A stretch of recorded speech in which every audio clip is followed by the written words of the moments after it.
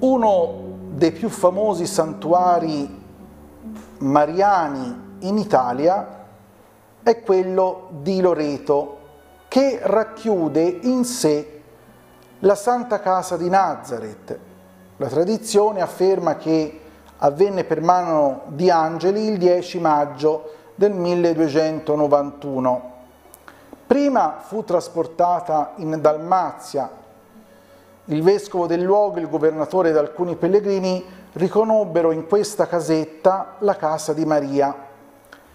Per averne le prove, essi mandarono in Palestina una commissione, la quale constatò che la casa di Maria era scomparsa di là e le fondamenta rimaste concordavano perfettamente con i muri dell'edificio apparso sui monti Dalmati.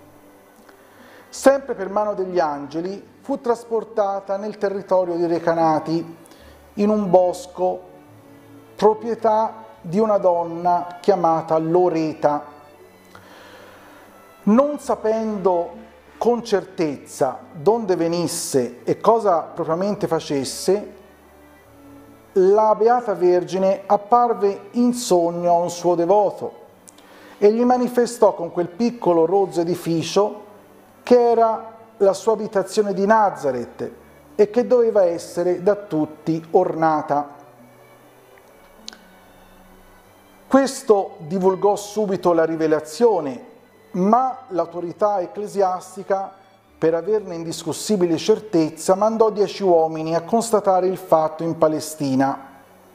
La Madonna poi, coi miracoli, confermò la rivelazione fatta.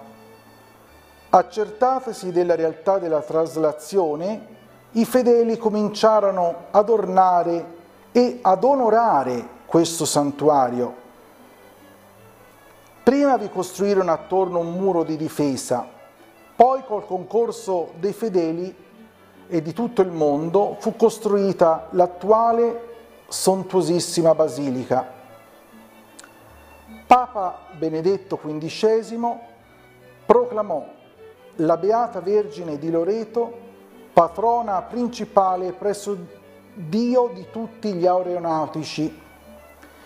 In data 7 ottobre 2019 Papa Francesco tramite la richiesta del prelato di Loreto, Monsignor Fabio Dalcin, ha decretato l'inserimento della memoria della Beata Vergine Maria nel calendario romano al giorno 10, giorno in cui vi è la festa a Loreto. In questo anno si celebra infatti il grande giubileo in cui si ricorda la proclamazione della Madonna di Loreto a patrona dell'aeronautica militare. Preghiamo la Vergine Maria in questo tempo di avvento affinché ci mostri Gesù, il frutto benedetto del suo seno.